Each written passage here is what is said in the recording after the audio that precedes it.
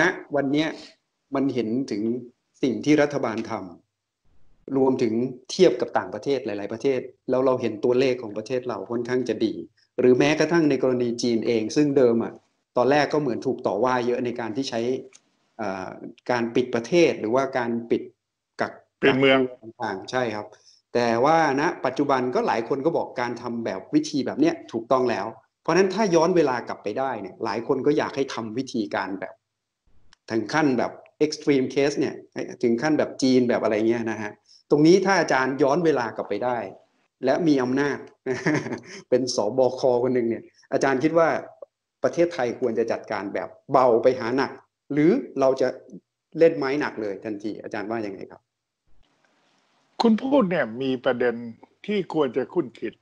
แม้เราจะย้อนเวลาไม่ได้ก็ตาม ครับ ต้องพูดเสียก่อน เราไม่ได้กวนน้ำให้คุณ ถ้าผมจะตอบอันนี้ครับนะครับ ผมต้องการกวนน้ำให้ใส ไม่ได้กวนน้ำให้คุณ ก็คืออยากจะให้มันโปรมันทำเห็นภาพชัดเจน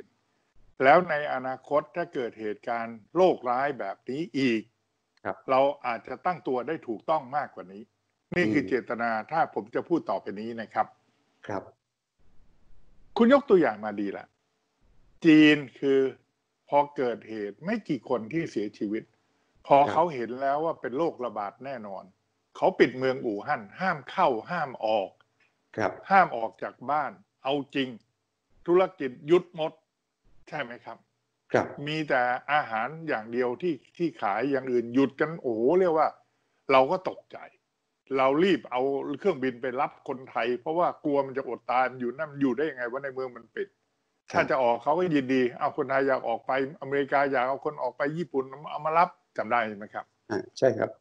จากนั้นมีอีกประเทศหนึ่งที่ทำคล้ายกัน แล้วก็ได้ผลคือเดนมาร์กเดนมาร์กเนี่ยมีเหตุนิดเดียวนายกรัฐมนตรีผู้หญิงของเขาสั่งปิดมาเลย ครับตกลงเขาก็คุณเห็นไหมฮะไอ้ไอ้สถิติทั้งหลายไม่ค่อยขึ้นนะครับ เดนมาร์กเนี่ยเราไม่ค่อยได้ไม่ค่อยได้พูดไม่ได้ยินใช่ฮะ แต่ทีนี้พอมาถึงของไทย เรารับติดโรคจากอู่ฮั่นจากจีนคนเดียวทีแรก เราก็มักจะคิดว่าคงไม่เป็นไรหรอกมันอยู่ที่อู่ฮั่นแล้วเราก็ทำแบบค่อยเป็นค่อยไปไปเรื่อยๆ ตอนแรกที่ผมก็คุยกับคุณเมื่อตอนที่แล้ว ว่าขนาดรัฐมนตรีสาธารณสุข ยังบอกว่ามีคนไปบอกว่าอ้าววัดอุณหภูมิแต่ทำไมวัดแต่เครื่องบินสวาบางบางลำที่เข้ามา อีกลำหนึ่งเข้าอีกประตูในมึงไม่เห็นวัดเลยเขาบอกจะไปวัดทำไมล่ะมึงก็วัดอันเดียวที่มันจะอู่ฮั่นจะบ้าเหรอจะโง่ไปวัดทำไมจากมาจากประเทศอื่นคุณจำได้ไหมครับครับเราเนี่ยค่อยเป็นค่อยไป คนไทยชอบทำอะไรค่อยเป็นค่อยไป ค่อยตามสถานการณ์ไปเรื่อยๆ มีมีปัญหาเราก็ตามไปตามไปตามไปตามไปพ อหลังจากวัดไข้เสร็จเราก็ยังไม่รู้หรอกว่าว่าไอ้คนที่มาติดเชื้อแล้วมันไม่มีไข้ก็มี เราก็เอาวัดไข้วัดไข้ก็ไว้นะแม่ภูมิใจทีวีไปถ่ายขยายเครื่องวัดไข้สามสิบเจ็ดจุดห้าเกินหน้านั้น แล้วก็ค่อยว่ากัน ก็ตอนแรกเราก็เริ่มอย่างนั้น และเราก็เริ่มหนักขึ้นหนักขึ้นหนักขึ้นหนักขึ้นเรื่อยๆจนกระทั่งถึงมีสออชอไกลๆ แต่ชื่อมาเปลี่ยนเป็นสอบก็คือมีภาวะฉุกเฉินเกิดขึ้น แล้วเราก็เริ่มสั่งยุติสถานบันเทิง ยุติการค้าขายยุติโรงงาน ยุติทุกอย่าง เว้นแต่ซูเปอร์มาร์เก็ตและแต่ร้านอาหาร ห้ามห้ามไม่ให้มีการกินในร้านอาหารให้ซื้อกลับบ้าน มันคล้ายๆ อู่ฮั่นขึ้นไปทุกทีทุกทีทุกทีถูกไหมครับ ครับ และตอนนี้เครื่องสนามบินก็เกือบจะปิดหมดแล้ว เหลือเพียงแค่ไม่กี่ลำที่จะใช้ประโยชน์ที่จะให้เข้าออกได้ มันก็คืออู่ฮั่นในที่สุด มันก็คือเดนมาร์กในที่สุดถูกไหมครับครับคนก็เลยมานั่งคิดว่า เอ ถ้าอย่างนี้เนี่ย เราเริ่มจากแรงไปหาเบาดีหรือจะเบาไปเรื่อยๆ แบบที่เราทำอยู่ทุกวันนี้ไปหาแรง ครับ ผมเรียนคุณว่าคนแรกที่ผมได้เห็นโพสต์ใน Facebook คือดรอาทิตย์อุไรรัตน์ครับ ทันทีที่มีสอชอเราอยู่ผมจะใช้ชื่อแรกเดิมอยู่ก่อน พอออกมาใหม่ๆคือศูนย์อะไรเรื่องฉุกเฉินน่ะนะครับครับสอชเนี่ยพอประกาศภาวะฉุกเฉิน แต่ว่ามาตรการมันหน่อมแนม มันทำทีละนิด ทีละนิด ทีละนิดเพิ่มขึ้น เพิ่มขึ้นตามสถานการณ์ไปเรื่อยๆ Facebook ดรอาทิตย์ ส่งมาทันทีบอกว่า เที่ยวนี้มันเป็นประกาศภาวะฉุกเฉิน ไม่ใช่เล่นกับคน แต่เล่นกับเชื้อโรคอืมอืมข่าวสออชอมันมีคนไปชุมนุมอยู่ที่ราชครับประสงค์ครับ แล้วเตือนแล้วไม่เลิก ครับ เสื้อแดงชุมนุมราชประสงค์ แล้วก็ก็เตือนไปเรื่อยๆเตือนไปเรื่อยๆ นโยบายก็ต้องทำจากเบาไปหาหนัก เพราะเราทำกับคนที่มันพูดกับคนได้ และคนมันก็รู้เรื่อง แล้วก็บอกเขาว่าถ้าคุณไม่เลิก ผมก็จะเติมมาตรการไปนะเดี๋ยวจะปิดไม่ให้เข้าไม่ให้ออกจำได้ไหมตัดน้ำตัดไฟแล้วในที่สุดก็ลงไปเรื่อยๆค่อยๆเข้มบีบให้เหลือไข่แดงเล็กลงเรื่อยๆอ่าอ่าเรียกว่าขอพื้นที่คืนบ้างอะไรบ้างอันนั้นครับเรากำลังฉุกเฉินกับคน เรากำลังจัดการกับมนุษย์ด้วยกันครับ มันก็ค่อยจากเบาไปหาหนัก แต่กับเชื้อโรคเดี๋ยวดรอาทิตย์เป็นคนพูดว่า เราอาจจะต้องหนักเลยหรือเปล่า เราจะเบาไปหาหนักมันจะได้ไหม มันเขียนสั้นแค่เนี้ยครับ ผมไปถูกคิดทันทีว่า เอะมันอาจจะจริงนะเพราะคุณเล่นกับเชื้อโรคคุณเบาไปก่อนเนี่ยมันไม่รู้เรื่องหรอก มันคิดไม่เป็นหรอกว่าอืมเฮ้ย เดี๋ยวหนักมานะ เดี๋ยวกู มันจะเอากูอยู่นะ ตกลงครัมับนไม่เหมือนคนอืมมันจะต้องอาจจะต้องหนักเลยครับคืออยู่ดีๆ ปิดประเทศตูมปิดอืมสนามบินอืมปิดพื้นที่ครับแล้วตรวจข้างในใครสิบสี่วันใครมีปัญหาจับกักตัวสิบสี่วันหมด มันก็คลีนเลยอย่างรวดเร็วครับปัญหาก็จะน้อยกว่านี้ แต่ผมบอกเบลนะครับว่าในหลักการเนี่ย ผมเห็นว่าควรจะทำอย่างนี้ก็คือจากหนักเลย แล้วก็ ค่อยผ่อนปลนไปทีละน้อย อืม แต่ถ้าครับผมเป็นผู้มีอำนาจคุณถามผมว่า แล้วผมมีอำนาจด้วย ผมเป็นครับผู้ในวยการสอสบบคคครับ ผมจะทำไหมผมต้องสารภาพว่าผมไม่กล้า อืม ลองคิดดูดูสิครับ พอมีคนไทยติดคนหนึ่ง แล้วพอมาติดออกมาสักสิบครับหรือยี่สิบครับผมสั่งปิดประเทศเลยเนี่ยอาจารย์กระต่ายตื่นตูมไปแล้ว อ่าครับ ถูกต้องเลย ผมถูกด่าเละเลยอืมผมถูกซัดทันทีเลยว่าหนึ่งก็ตายตื่นตูมสองทำให้เศรษฐกิจพินาศสามทำให้ครอบครัวเขาอยู่กันยังไงครับให้พี่น้องญาติพี่น้องเดินทางหาจะไปมาหาสู่กันไม่ได้อืมคุณปิดจังหวัดรถห้ามวิ่ง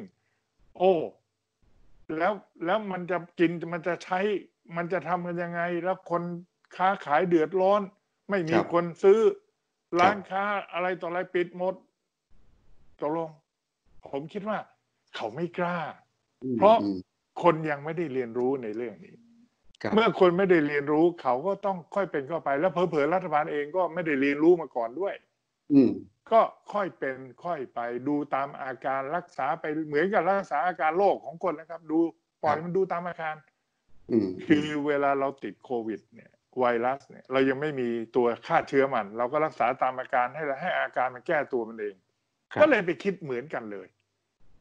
ประเทศก็เหมือนกับร่างกายคน เราก็รักษาตามอาการไป มึงโผล่มาทางไหนกูก็ว่าไป